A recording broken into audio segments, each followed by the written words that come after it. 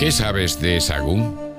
Situada al suroeste de la provincia de León, entre los ríos Cea y Valderaduay, en la comarca de Tierra de Sagún. Su término municipal limita al norte con Cea, al este con la provincia de Palencia, al sur con Grajal de Campos y la provincia de Valladolid, y al oeste con Gordaliza del Pino, Calzada del Coto y Villamol. Nació a la sombra de un santuario, donde se sepultaron los restos de los santos y mártires Facundo y Primitivo hacia el año 304. Entre sus monumentos más representativos se encuentran la iglesia de San Lorenzo, la iglesia de San Tirso, el santuario de la Peregrina y las ruinas del monasterio real de San Benito todos ellos declarados bien de interés cultural. La Semana Santa de Sagún, de interés turístico regional, es una de las celebraciones religiosas más importantes de la Villa Facundina. Esa importancia cultural se ve acentuada por ser lugar de paso del Camino de Santiago y por pertenecer a la Federación de Lugares Cluniacenses.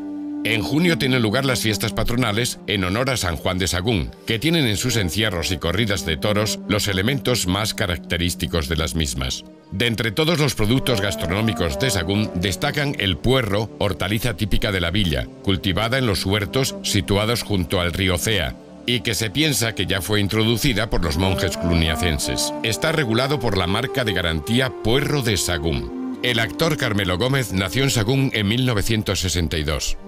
¿Cuándo te animas a darte un paseo por tierra de campos?